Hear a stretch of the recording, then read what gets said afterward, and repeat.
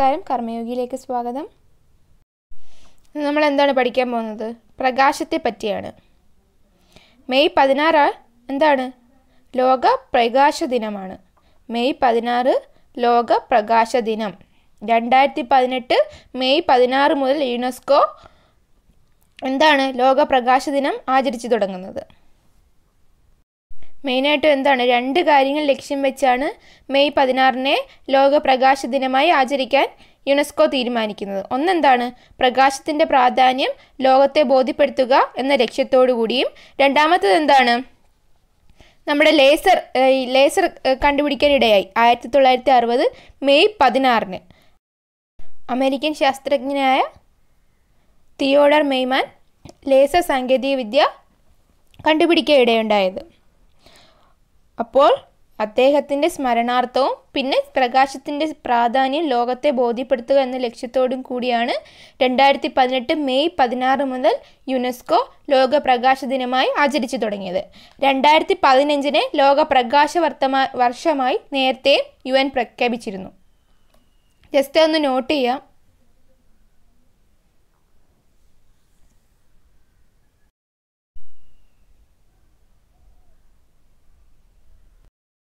അടുത്തത് എന്താണ് പ്രകാശത്തിന്റെ പിതാവിനെ കുറിച്ച് പറഞ്ഞിട്ടുണ്ട്. ആരാണ്? അൽ ഹസൻ ഇബിൻ അൽ ഹൈത്താം എന്ന അറേബ്യൻ ശാസ്ത്രജ്ഞനാണ് പ്രകാശത്തിന്റെ പിതാവായി അറിയപ്പെടുന്നത്. അൽ ഹസൻ ഇബിൻ അൽ ഹൈത്താം എന്ന അറേബ്യൻ ശാസ്ത്രജ്ഞനാണ് പ്രകാശത്തിന്റെ പിതാവായി അറിയപ്പെടുന്നത്. അപ്പോൾ അദ്ദേഹത്തിന്റെ കണ്ടെത്തലുകൾ എന്തൊക്കെയായിരുന്നു? പ്രകാശം നേർരേഖയിൽ സഞ്ചരിക്കുന്നു എന്നതായിരുന്നു അദ്ദേഹത്തിന്റെ വലിയ കണ്ടെത്തലുകളിൽ ഒന്ന്.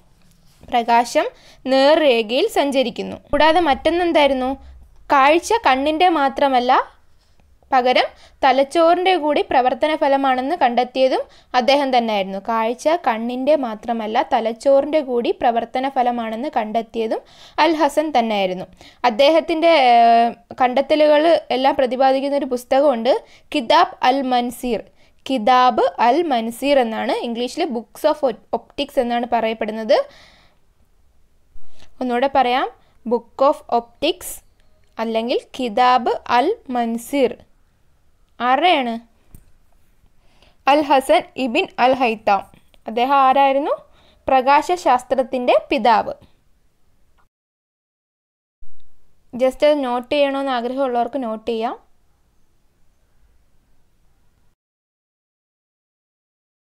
എന്തെങ്കിലും പ്രയാസോ ബുദ്ധിമുട്ടോ സംശയങ്ങളോ ഉണ്ടെങ്കിൽ ഒന്ന് കമന്റ് ചെയ്യണേ.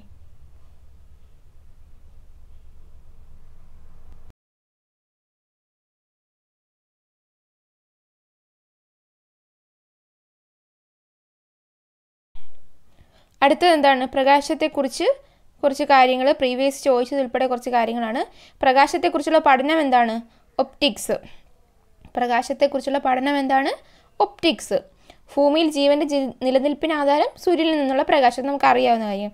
സൂര്യപ്രകാശം ഭൂമിയിൽ എത്താൻ എടുക്കുന്ന സമയം എട്ട് മിനിറ്റും ഇരുപത് സെക്കൻഡും. ടോട്ടൽ അഞ്ഞൂറ് സെക്കൻഡ്. സൂര്യപ്രകാശം ഭൂമിയിൽ എത്താൻ എടുക്കുന്ന സമയം എട്ട് മിനിറ്റും ഇരുപത് സെക്കൻഡും. ചന്ദ്രനിൽ നിന്നുള്ള പ്രകാശം എടുക്കുന്ന സമയം ഒന്ന് പോയിന്റ് മൂന്ന് സെക്കൻഡ്. ചന്ദ്രനിൽ നിന്നുള്ള പ്രകാശം എടുക്കുന്ന സമയം ഒന്ന് പോയിന്റ് മൂന്ന് second.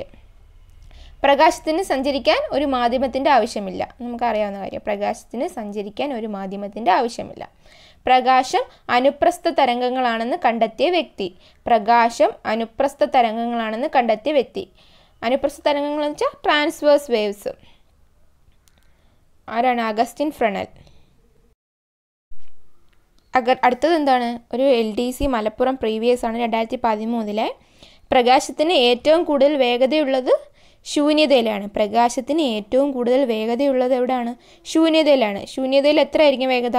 Three into ten raise to eight metre per second three into ten raise to eight metre per second പ്രകാശത്തിന് ഏറ്റവും കൂടുതൽ വേഗതയുള്ളത് ശൂന്യതയിൽ three into ten ten raise to eight metre per second അടുത്തത് എന്താണ് പ്രകാശം ഏറ്റവും കൂടുതൽ വേഗത്തിൽ സഞ്ചരിക്കുന്നത് ശൂന്യതയിലൂടെയാണെന്ന് കണ്ടെത്തിയത് ലിയോൺ ഫുക്കാട്ട്. അഗസ്റ്റിൻ ഫ്രണൽ എന്താണ് കണ്ടെടുത്തത് പ്രകാശം അനുപ്രസ്ഥ തരംഗങ്ങളാണ്. അനുപ്രസ്ഥ തരംഗങ്ങളാണെന്ന് ആരാണ് കണ്ടെത്തിയത്? അഗസ്റ്റിൻ ഫ്രണൽ ശൂന്യതയിലൂടെയുള്ള ശബ്ദവേഗത three into ten raise to eight metre per second അടുത്തതാണ് പ്രകാശ സാന്ദ്രത ഏറ്റവും കുറഞ്ഞ മാധ്യമം. പ്രകാശ സാന്ദ്രത ഏറ്റവും കുറഞ്ഞ മാധ്യമം. ഡെൻസിറ്റി കുറഞ്ഞത് കുറഞ്ഞത് എവിടെയാണ്? ശൂന്യതയിലാണ്. അടുത്തത് എന്താണ്? പ്രകാശത്തിന്റെ വേഗത ഏറ്റവും കുറഞ്ഞ മാധ്യമം. പ്രകാശ വേഗത ഏറ്റവും കുറഞ്ഞ മാധ്യമം. എന്താണ്? വജ്രം. പ്രകാശത്തിന്റെ വേഗത വെലോസിറ്റി ഏറ്റവും കുറഞ്ഞ മാധ്യമം ഏതാണ്? വജ്രം. അടുത്തത് പ്രകാശ സാന്ദ്രത ഏറ്റവും കുറഞ്ഞ മാധ്യമം. പ്രകാശ സാന്ദ്രത ഏറ്റവും കുറഞ്ഞ മാധ്യമം. എന്താണ്? വജ്രം. വജ്രത്തിന്റെ തിളക്കത്തിന് കാരണം എന്താണ്? കാന്തിക കോൺ ചെറുതായതിനാൽ. വജ്രത്തിന്റെ കാന്തിക കോൺ ചെറുതായതിനാലാണ് ചെറുതായതിനാലാണ് എന്താണ്? വജ്രത്തിന്റെ തിളക്കത്തിന് കാരണം എന്താണ്? വജ്രത്തിന്റെ കാന്തിക കോൺ ചെറുതായതിനാൽ. വൈദ്യുത കാന്തിക സ്പെക്ട്രത്തിലെ ഏറ്റവും ഇടുങ്ങിയ ഭാഗം എന്താണ്? ദൃശ്യപ്രകാശം അല്ലെങ്കിൽ വിസിബിൾ ലൈറ്റ് വൈദ്യുത കാന്തിക സ്പെക്ട്രം ഇലക്ട്രോ ഇലക്ട്രോമാഗ്നറ്റിക് സ്പെക്ട്രത്തിലെ ഇടുങ്ങിയ ഭാഗം ഏതാണ്? ദൃശ്യപ്രകാശം. അതിന്റെ തരംഗദൈർഘ്യം എത്ര ആയിരിക്കും? നാനൂറ് മുതൽ എഴുന്നൂറ് നാനോമീറ്റർ വരെ ആയിരിക്കും. ദൃശ്യപ്രകാശം അല്ലെങ്കിൽ വിസിബിൾ ലൈറ്റിന്റെ വിസിബിൾ ലൈറ്റിന്റെ വേവ് ഇന്റൻസിറ്റി എത്ര ആയിരിക്കും four hundred to seven hundred nanometre ആയിരിക്കും. പ്രകാശത്തിന്റെ തരംഗദൈർഘ്യത്തിന്റെ യൂണിറ്റ് എന്തായിരിക്കും? വേവ് ലെങ്തിന്റെ യൂണിറ്റ് ആംസ്ട്രങ്. പ്രകാശ തീവ്രതയുടെ യൂണിറ്റോ വേവ് ഇന്റൻസിറ്റിയുടെ യൂണിറ്റ് എന്താണ്? ക്യാൻല അപ്പം എന്തൊക്കെയാണ് പറഞ്ഞത്? പ്രകാശ തരംഗദൈർഘ്യത്തിന്റെ യൂണിറ്റ് ആംസ്ട്രങ്ങും പ്രകാശ തീവ്രത ലൈറ്റ് ഇന്റൻസിറ്റിയുടെ യൂണിറ്റ് യൂണിറ്റ് ക്യാൻഡിലെ ആയിരിക്കും. ജസ്റ്റ് അവിടെ ഒരു പോയിന്റും കൂടെ ഓർത്തിരിക്കുക. ഞാൻ ഇതിനകത്ത് ഉൾപ്പെടുത്തിയിട്ടില്ല കേട്ടിരിക്കാം. ഞാൻ പ്രകാശത്തെ വഹിക്കുന്നു എന്നർത്ഥം വരുന്ന മൂലകം ഏതാണ്? ഫോസ്ഫറസ് ഞാൻ പ്രകാശത്തെ വഹിക്കുന്നു എന്നർത്ഥം വരുന്ന മൂലകം ഫോസ്ഫറസ് ഒന്നും കൂടെ പറയാം. ഞാൻ പ്രകാശത്തെ വഹിക്കുന്നു എന്നർത്ഥം വരുന്ന മൂലകം ഏതാണ്? ഫോസ്ഫറസ്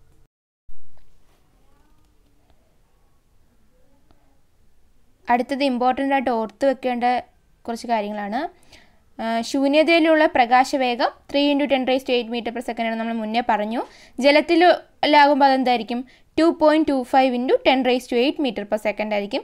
ഗ്ലാസ്സിലൂടെ ആകുമ്പം two into ten raise to eight metre per second ആയിരിക്കും. വജ്രത്തിലൂടെ ആകുമ്പം one point two five into ten raise to eight metre per second ആയിരിക്കും. അതൊന്ന് എഴുതിയെടുക്കാം.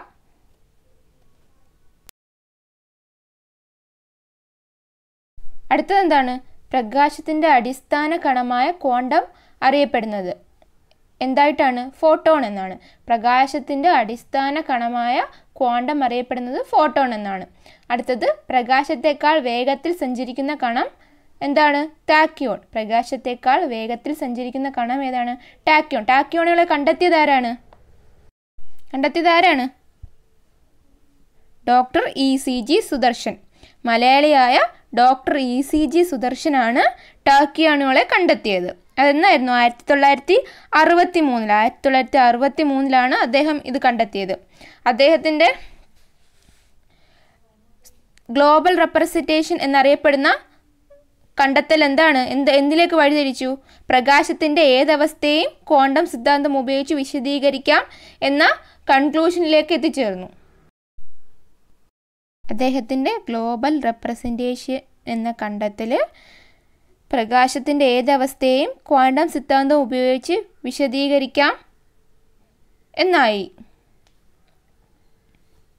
ക്വാണ്ടം പ്രകാശീയത എന്ന പഠനശാഖയ്ക്ക് തുടക്കമിട്ടതും doctor E C G Sudarshan തന്നെയാണ്. ക്വാണ്ടം പ്രകാശീയത എന്ന പഠനശാഖയ്ക്ക് തുടക്കമിട്ടതും doctor E C G Sudarshan തന്നെയാണ്. അദ്ദേഹത്തിന് നോബൽ സമ്മാനം ലഭിക്കാതെ പോയത് ശാസ്ത്രലോകത്ത് ഇന്നും വിവാദമായി കിട നടക്കുന്ന ഒരു വിഷയമാണ്.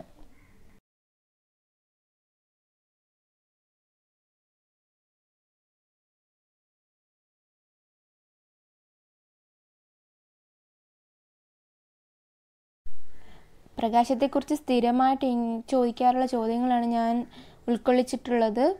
നമുക്കറിയാം നമ്മുടെ ഫിസിക്സ് എന്ന ശാഖയിൽ അല്ലെങ്കിൽ ശാസ്ത്രലോകത്ത് Aristotle Plato Euclid Galileo Kepler Edison Faraday എല്ലാവരെ പറ്റി നമുക്കറിയാം. തുടങ്ങിയവരെല്ലാം പ്രകാശത്തെക്കുറിച്ച് വിശദീകരിച്ചിട്ടുള്ളവരാണ്. എന്നാലും ഈ ശാഖയ്ക്ക് ശാഖയ്ക്ക് എടുത്തു പറയേണ്ട സംഭാവനകൾ നൽകിയ രണ്ടുപേരായിരുന്നു ഒന്ന് സർ ഐസക് ന്യൂട്ടനും ക്രിസ്ത്യൻ ഹൈജൻസും. സർ ഐസക് ന്യൂട്ടനെ കുറിച്ച് പറയുകയാണെങ്കിൽ എന്താണ് സൂര്യപ്രകാശത്തിന് ഏഴ് നിറങ്ങളുണ്ടെന്ന് കണ്ടെത്തിയത് സർ ഐസക് ന്യൂട്ടനാണ് സൂര്യപ്രകാശത്തിന് ഏഴ് നിറങ്ങളുണ്ടെന്ന് കണ്ടെത്തിയത് സർ ഐസക് ന്യൂട്ടനാണ് അതുപോലെ തന്നെ പ്രകാശത്തിന്റെ കണികാ സിദ്ധാന്തം ആവിഷ്കരിച്ചതും സർ ഐസക് ന്യൂട്ടൻ തന്നെയാണ്. പ്രകാശത്തിന്റെ കണികാ സിദ്ധാന്തം ആവിഷ്കരിച്ചതും സർ ഐസക് ന്യൂട്ടൻ തന്നെയാണ്. ആയിരത്തി അറുന്നൂറ്റി അമ്പത്തി ഏഴിലാണ് ന്യൂട്ടൺ പ്രകാശത്തിന്റെ കണികാ സിദ്ധാന്തം ആവിഷ്കരിച്ചത്. ആയിരത്തി അറുന്നൂറ്റി അമ്പത്തി ഏഴ് കൂടാതെ പ്രകാശ പ്രതിഭാസങ്ങളായ പ്രതിഫലനം അപവർത്തനം എന്നിവ ഇതിലൂടെ അദ്ദേഹം വിശദീകരിക്കുകയുണ്ടായി. അതായത് നമ്മുടെ റിഫ്ലക്ഷനും റിഫ്രാക്ഷനും. അപ്പം ആയിരത്തി അറുന്നൂറ്റി അമ്പത്തി ഏഴിൽ കണികാ സിദ്ധാന്തം ആവിഷ്കരിച്ചു. തുടർന്ന് പ്രതിക പ്രകാശ പ്രതിഭാസങ്ങളായ പ്രതിഫലനം അപവർത്തനം എന്നിവ ഇതിലൂടെ വിശദീകരിക്കാനായി. അതായത് റിഫ്ലക്ഷനും റിഫ്രാക്ഷനും. അപ്പം പ്രതി പ്രതിഫലനം എന്താണ്? പ്രതിഫലനം എന്താണ് ചെറുതായിട്ടൊന്ന് നോക്കാം. മിനുസമുള്ള പ്രതലത്തിൽ തട്ടി പ്രകാശം തിരിച്ചു വരുന്ന പ്രതിഭാസമാണ് പ്രതിഫലനം. അതായത് മിനുസമുള്ള ഏതെങ്കിലും പ്രതലത്തിൽ സൂര്യപ്രകാശം തട്ടിയിട്ട് തിരിച്ചു വരുന്നത് പ്രതിഫലനം റിഫ്ലക്ഷൻ. ഒരു പ്രതലത്തിൽ പതിക്കുന്ന കിരണങ്ങളെ പതനകിരണമെന്നും പ്രതലത്തിൽ നിന്നും തിരിച്ചു വരുന്ന കിരണങ്ങളെ എന്ത് പറയുന്നു? പ്രതിപതന കിരണങ്ങൾ എന്ന് പറയുന്നു. അതായത് ഇൻസിഡന്റ് റേയും റിഫ്ലക്റ്റഡ് അതൊക്കെ നമുക്ക് അറിയാമല്ലോ ജസ്റ്റ് ഒന്ന് ഓർത്തിരിക്കാൻ വേണ്ടി കാണിക്കുന്നതേ ഉള്ളൂ. അടുത്തത് എന്താണ്? അടുത്തത് അപവർത്തനം റിഫ്രാക്ഷൻ എന്താണ് റിഫ്രാക്ഷൻ പ്രകാശം ഒരു മാധ്യമത്തിൽ നിന്നും വ്യത്യസ്ത മാധ്യമമായ മറ്റൊരു മാധ്യമത്തിലേക്ക് പ്രവേശിക്കുമ്പോൾ അതിന്റെ പാതയ്ക്ക് വ്യതിയാനം സംഭവിക്കുന്ന പ്രതിഭാസമാണ് അപവർത്തനം. പ്രകാശം ഒരു മാധ്യമത്തിൽ നിന്നും വ്യത്യസ്തമായ മറ്റൊരു മാധ്യമത്തിലേക്ക് പ്രവേശിക്കുമ്പോൾ അതിന്റെ പാതയ്ക്ക് വ്യതിയാനം സംഭവിക്കുന്നു. അതെന്താണ്? അപവർത്തനം എന്ന് നമുക്ക് പറയാം. ഒരു ഉദാഹരണം നോക്കുകയാണെങ്കിൽ എന്താ? നക്ഷത്രങ്ങൾ മിന്നിത്തിളങ്ങുന്നത്. നക്ഷത്രങ്ങളുടെ നിറത്തിന് കാരണം അവയിലെ താപനിലയാണ്. നക്ഷത്രങ്ങൾ മിന്നിത്തിളങ്ങുന്നത് എന്ത് മൂലമാണ്? അപവർത്തനം. നക്ഷത്രങ്ങളിലെ നിറത്തിന് കാരണം എന്താണ്? അവയുടെ താപ അവയുടെ താപനിലയാണ്. കൂടാതെ മരുഭൂമിയിലെ മരീചിക. നമ്മൾ കേട്ടിട്ടില്ലേ? മരുഭൂമിയിലെ മരീചിക മിറാഷ്. അതിന് കാരണമാകുന്നതും എന്താണ്? പ്രകാശത്തിന്റെ അപവർത്തനം തന്നെയാണ്. മരുഭൂമിയിലെ മരീചിക്ക് കാരണമാകുന്നത് എന്താണ്? പ്രകാശത്തിന്റെ അപവർത്തനം. പിന്നെ ഒന്നുകൂടെ ഓർത്തിരിക്കാം. അപവർത്തനാംഗം ഏറ്റവും കൂടിയ പദാർത്ഥം ഏതാണ്? വജ്രം. അപവർത്തനാംഗം ഏറ്റവും കൂടിയത് ഏതാണ്? വജ്രം. അപ്പോൾ നമ്മൾ പ്രതിഫലനം നോക്കി അപവർത്തനവും നോക്കി. അപ്പോൾ നമ്മൾ പറഞ്ഞുകൊണ്ടിരുന്നത് ന്യൂട്ടന്റെ പ്രകാശ കണികാ സിദ്ധാന്തത്തെ പറ്റിയായിരുന്നു. അപ്പോഴായിരുന്നു പ്രതിഫലനവും അപവർത്തനവും ഒക്കെ വന്നത്. അപ്പം ഓർത്തിരിക്കേണ്ട കാര്യങ്ങൾ സൂര്യപ്രകാശത്തിന് ഏഴ് നിറങ്ങൾ കണ്ടെത്തിയത് ഐസക് ന്യൂട്ടനാണ്. പ്രകാശത്തിന്റെ കണികാ സിദ്ധാന്തം ആവിഷ്കരിച്ചതും സർ ഐസക് ന്യൂട്ടനാണ്. ആയിരത്തി അറുന്നൂറ്റി അമ്പത്തേഴിലായിരുന്നു അത് അത് അതിന്റെ തുടർച്ചയായിട്ട് അദ്ദേഹം പ്രകാശ പ്രതിഭാസങ്ങളായ അപ്രതിഫലനവും അപവർത്തനവും വിശദീകരി വിശദീകരിച്ചു. ജസ്റ്റ് അതൊന്ന് നോട്ട് ചെയ്യാം.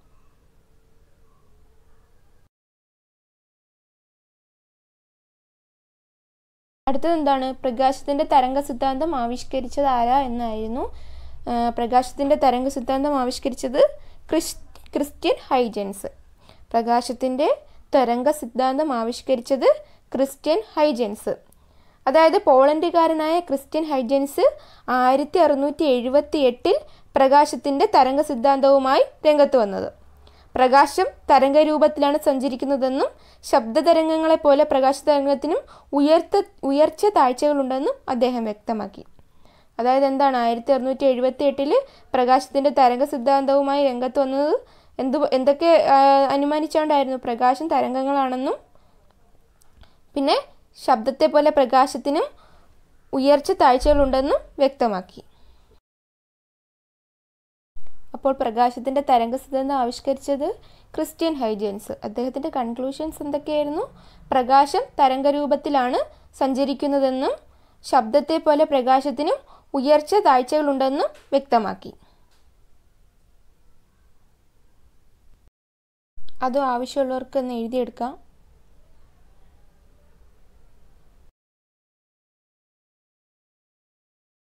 അടുത്തത് എന്താണ്? പ്രകാശം അനുപ്രസ്ഥ തരംഗങ്ങളാണെന്ന് കണ്ടെത്തിയത് ആരാണ് എന്നായിരുന്നു. അഗസ്റ്റിൻ ഫ്രണലാണ് പ്രകാശം അനുപ്രസ്ഥ തരംഗങ്ങളാണെന്ന് കണ്ടെത്തിയത്. അതായത് ആയിരത്തി എണ്ണൂറ്റി മൂന്നിൽ തോമസ് എങ് ഡബിൾ സ്ലിറ്റ് എക്സ്പെരിമെന്റിലൂടെ തരംഗ സ്വഭാവങ്ങളെക്കുറിച്ച് ചർച്ച ചെയ്തിരുന്നു. അപ്പോൾ തുടർച്ചയായിട്ട് അഗസ്റ്റിൻ ഫ്രണൽ തരംഗ സിദ്ധാന്തം ഉപയോഗിച്ച് പ്രകാശ പ്രതിഭാസങ്ങളായ ഡിഫ്രാക്ഷനെയും റിഫ്രാക്ഷനെയും വിശദീകരിച്ചു. അപ്പോൾ എന്താണെന്ന് ഒന്നുകൂടെ പറയാം. ആയിരത്തി എണ്ണൂറ്റി മൂന്നിൽ Thomas Young double slit experiment ഇരട്ട സ്ലിറ്റ് പരീക്ഷണത്തിലൂടെ പ്രകാശത്തിന്റെ തരംഗ സ്വഭാവത്തെക്കുറിച്ച് ചർച്ചകൾ പുനർജീവിപ്പിച്ചു. തുടർന്ന് ഫ്രഞ്ച് ശാസ്ത്രജ്ഞനായ അഗസ്റ്റിൻ ഫ്രണൽ തരംഗ സിദ്ധാന്തം ഉപയോഗിച്ച് പ്രകാശ പ്രതിഭാസങ്ങളായ ഡിഫ്രാക്ഷനും റിഫ്രാക്ഷനും വിശദീകരിച്ചു. ഇതൊക്കെയാണ് ഡിഫ്രാക്ഷനും റിഫ്രാക്ഷനും റിഫ്രാക്ഷൻ നമ്മൾ നേരത്തെ പറഞ്ഞായിരുന്നു അപവർത്തനം. അപ്പോൾ ഡിഫ്രാക്ഷൻ എന്താണെന്ന് നോക്കാം? വിഭംഗനം. ഡിഫ്രാക്ഷൻ എന്താണ്? വിഭംഗനം. അതായത് സൂക്ഷ്മങ്ങളായ അതാര്യ വസ്തുക്കളെ ചുറ്റി പ്രകാശം വളയുകയോ വ്യാപിക്കുകയോ ചെയ്യുന്ന പ്രതിഭാസമാണ് എന്താണ്? ഡിഫ്രാക്ഷൻ സൂക്ഷ്മങ്ങളായ അതാര്യ വസ്തുക്കളെ ചുറ്റി പ്രകാശം വളയുകയോ വ്യാപിക്കുകയോ ചെയ്യുന്ന പ്രതിഭാസമാണ് ഡിഫ്രാക്ഷൻ എന്താണ് അതാര്യമായ വസ്തുക്കൾ എന്ന് വെച്ചാൽ ഇന്ന് നമ്മൾ സിനോണിംസ് പഠിച്ചപ്പോൾ പഠിച്ചായിരുന്നു അതാര്യം. എന്ത് ഏത് വാക്കിനർത്ഥമാണ് അതാര്യം എന്ന് പഠിച്ചത്? ഒപ്പേക്ക്. ഒപ്പേക്ക് ക്ലൗഡഡ് അല്ലെങ്കിൽ അതാരം അതാര്യമായ. എന്ന് നമ്മൾ രാവിലെ പഠിച്ചിരുന്നു. ഇതിന് ഉദാഹരണം പറയുകയാണെങ്കിൽ ഉദാഹരണം പറയുകയാണെങ്കിൽ എന്തെടുക്കാം? സൂര്യന് ചുറ്റുമുള്ള വലയം. സൂര്യന് ചുറ്റും നമ്മൾ വലയം കാണില്ലേ ആ വലയം? സീഡിയിൽ കാണപ്പെടുന്ന മഴവിൽ നിറം നിഴലുകളുടെ അരിക് അവ്യക്തവും ക്രമരഹിതവുമാവാൻ കാരണം. അപ്പോൾ സി ഡിയിൽ കാണപ്പെടുന്ന മഴവിലിന്റെ നിറം നമ്മുടെ നിഴലുകളുടെ അരികുകൾ എഡ്ജസ് അവ്യക്തവും ക്രമരഹിതവുമാക്കാനുള്ള കാരണം എന്താണ്? ഡിഫ്രാക്ഷനാണ് ജസ്റ്റ് ആർക്കെങ്കിലും നോട്ട് ചെയ്യണമെങ്കിൽ നോട്ട് ചെയ്യാം. ക്ലിയർ അല്ലെങ്കിൽ കമന്റ് ചെയ്യണേ. ഇതെന്താണ്? വൈദ്യുത കാന്തിക തരംഗ സിദ്ധാന്തത്തിന്റെ ഉപജ്ഞാതാവ് അതായത് ഇലക്ട്രോ മാഗ്നറ്റിക് വേവ് തിയറി ആരാണ്? മാക്സ്വെല്ല്. മാക്സ്വെല്ലാണ് ഇലക്ട്രോ മാഗ്നറ്റിക് വേവ് തിയറിയുടെ ഉപജ്ഞാതാവ്. അതായത് ആയിരത്തി ഇരുന്നൂ എണ്ണൂറ്റി അറുപത്തി അഞ്ചിൽ ആയിരത്തി എണ്ണൂറ്റി അറുപത്തി അഞ്ചിൽ സ്കോട്ടിഷ് സയന്റിസ്റ്റ് ആയിരുന്നു ജെയിംസ് ക്ലർക്ക് മാക്സ്വെൽ. അദ്ദേഹം വൈദ്യുത കാന്തിക തരംഗങ്ങൾക്ക് പ്രകാശത്തിന്റെ അതേ വേഗതയാണെന്ന് യാദൃശികമായി കണ്ടെത്തി. ഇലക്ട്രോ മാഗ്നറ്റിക് വേവ്സിന് പ്രകാശത്തിന്റെ അതേ വേഗതയാണെന്ന് യാദൃശികമായി കണ്ടെത്തി. പ്രകാശത്തിന് ശൂന്യതയിലുള്ള വേഗത എത്രയാണ്? പ്രകാശത്തിന് ശൂന്യതയിലുള്ള വേഗത three into ten raise to eight metre per second അപ്പം അദ്ദേഹം വൈദ്യുത കാന്തിക തരങ്ങൾക്ക് പ്രകാശത്തിന്റെ അതേ വേഗതയാണെന്ന് യാദർശികമായി കണ്ടെത്തി. ഈ ഇതാണ് അദ്ദേഹത്തെ വൈദ്യുത കാന്തിക തരംഗ സിദ്ധാന്തത്തിന്റെ കണ്ടെത്തലിലേക്ക് വഴിതെളിച്ചത്. ജസ്റ്റ് ആവശ്യമുള്ളവർക്ക് അതും കൂടെ ഒന്ന് നോട്ട് ചെയ്യാം. മനസ്സിലാവുന്നെന്ന് വിശ്വസിക്കുന്നു.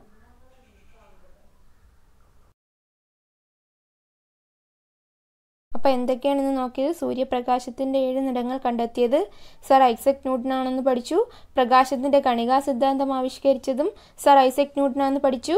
പ്രകാശത്തിന്റെ തരംഗ സിദ്ധാന്തം ആവിഷ്കരിച്ചത് സർ ക്രിസ്റ്റിൻ ഹൈജൻസ് ആണെന്ന് പഠിച്ചു. പ്രകാശം അനുപ്രസ്ഥ തരംഗങ്ങളാണെന്ന് കണ്ടെത്തിയത് അഗസ്റ്റിൻ ഫ്രണലാണെന്ന് പഠിച്ചു. വൈദ്യുത കാന്തിക തരംഗ സിദ്ധാന്തത്തിന്റെ ഉപജ്ഞാതാവ് മാക്സ്വെൽ ആണെന്നും പഠിച്ചു. അടുത്തത് നോക്കാം. ഹെൻറിച്ച് ഹെഡ്സ് പ്രകാശം റേഡിയോ തരംഗങ്ങൾ തമ്മിലുള്ള സാദൃശ്യം പരീക്ഷണത്തിലൂടെ തെളിയിച്ചതോടെ വൈദ്യുത കാന്തിക സിദ്ധാന്തം പൂർണമായി അംഗീകരിക്കപ്പെട്ടു. ഹെൻറിച്ച് ഹെർട്സ് പ്രകാശ റേഡിയോ തരംഗങ്ങൾ തമ്മിലുള്ള സാദൃശ്യം പരീക്ഷണത്തിലൂടെ തെളിയിച്ചതോടെ വൈദ്യുത കാന്തിക സിദ്ധാന്തം പൂർണമായി അംഗീകരിക്കപ്പെട്ടു. അതായത് എന്താണ്? പ്രകാശത്തിന്റെ വൈദ്യുത കാന്തിക സ്വഭാവം സ്ഥിരീകരിച്ചത് ആരാണ് ഹെൻറിച്ച് ഹെഡ്സ് ആണ്. പ്രകാശത്തിന്റെ വൈദ്യുത കാന്തിക സ്വഭാവം സ്ഥിരീകരിച്ചത് ഹെൻറിച്ച് ഹെഡ്സ് അതായത് എന്താണ്? Electro magnetic character of light. സ്ഥിരീകരിച്ചത് ആരാണ് ഹെൻറിച്ച് ഹെഡ്സ് ഹെഡ്സിന്റെ കാര്യം പറയുമ്പോൾ വേറെ എന്തെങ്കിലും ഓർമ്മ വരുന്നുണ്ടോ? ഫ്രീക്വൻസിയുടെ യൂണിറ്റാണ് ഹെഡ്സ് അത് ഇദ്ദേഹത്തിന്റെ സ്മരണാർത്ഥം നൽകിയതാണ്. അടുത്തെന്താണ്? ഫോട്ടോ ഇലക്ട്രിക് പ്രഭാവത്തിന് വിശദീകരണം നൽകിയത് sir Albert Einstein photo electric പ്രഭാവത്തിന് വിശദീകരണം നൽകിയത് ആരാണ്? Sir Albert Einstein. അതായത് ആയിരത്തി തൊള്ളായിരത്തി അഞ്ചിൽ ക്വാണ്ടം സിദ്ധാന്തത്തിന്റെ സഹായത്തോടെ ആൽബർട്ട് ഐൻസ്റ്റീൻ ഫോട്ടോ ഇലക്ട്രിക് പ്രതിഭാസത്തിന് വിശദീകരണം നൽകി. ആയിരത്തി തൊള്ളായിരത്തി അഞ്ചിൽ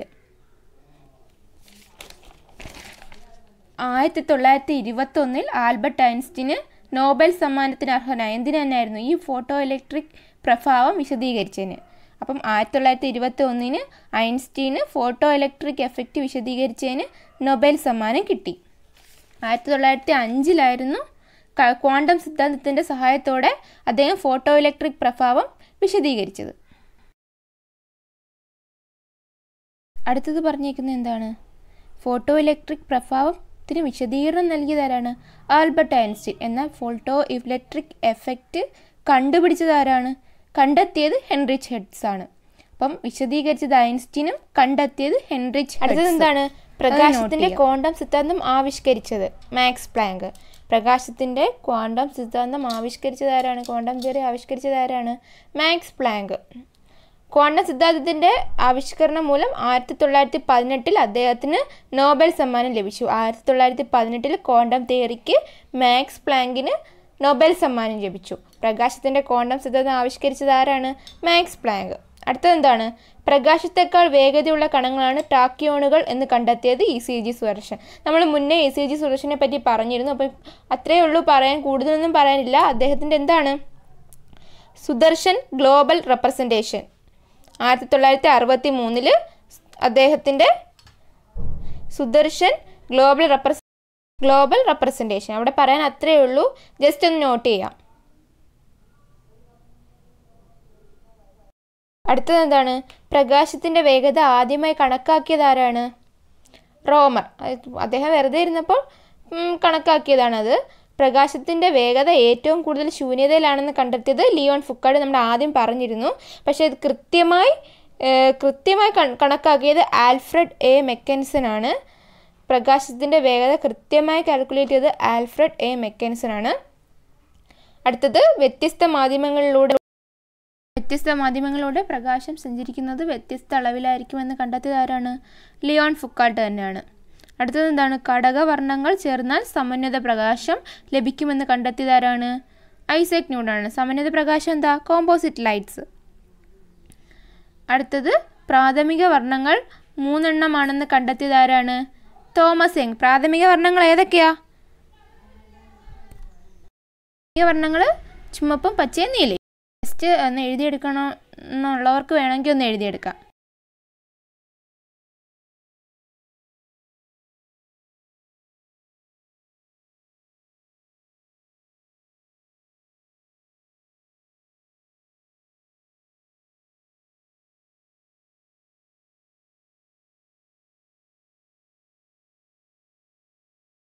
അടുത്തത് എന്താണ്? ഒരു കുഞ്ഞു ടോപ്പിക്കും കൂടെ കവർ ചെയ്യാനുണ്ട്. അതും കൂടെ നമുക്ക് നോക്കാം.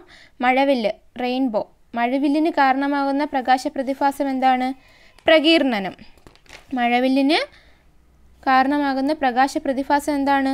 പ്രകീർണനം. അല്ലെങ്കിൽ എന്താണ്? ഡിസ്പേർഷൻ ഓഫ് ലൈറ്റ് ലൈറ്റിന്റെ കാരണത്തോടുകൂടി ഉണ്ടാകുന്ന എന്താണ്? മഴവില്ല്. മഴവില്ലിന്റെ ആകൃതി എന്താണ്? അർദ്ധ വൃത്താകൃതിയാണ് മഴവില്ലിന്റെ പുറംവക്കിൽ കാണുന്ന നിറം ഏതാണ്? ചുമപ്പ്. ചുമപ്പ് നിറം ദൃഷ്ടി ദൃഷ്ടിരേഖയുമായി ഉണ്ടാക്കുന്ന കോണളവ് നാൽപ്പത്തിരണ്ട് പോയിന്റ് എട്ട് ഡിഗ്രി.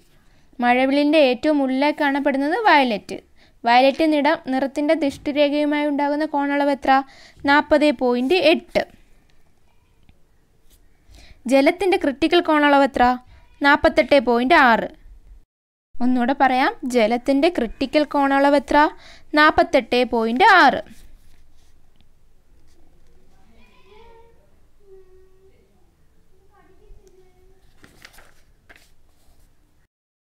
അതുപോലെ തന്നെ തരംഗ ദൈർഘ്യം കൂടിയ നിറമേതാ? വിബ്ജോറിൽ ചുമപ്പ്. തരംഗ ദൈർഘ്യം കുറഞ്ഞ നിറവോ? വയലറ്റ്. അതുകൂടെ ഒന്ന് നോട്ട് ചെയ്തോളൂ. ഇത്രയേ ഉള്ളൂ. പ്രകാശത്തെക്കുറിച്ച് വിശദീകരിക്കാൻ വേണ്ടിയിട്ട് പ്രകാശത്തെ പറ്റിയുള്ള മാക്സിമം കാര്യങ്ങൾ ഞാൻ ഇതിൽ ഇൻക്ലൂഡ് ആക്കിയിട്ടുണ്ട്.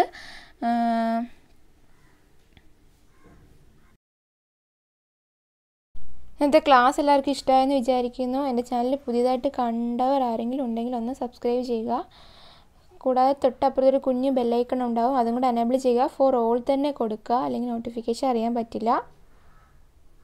താങ്ക്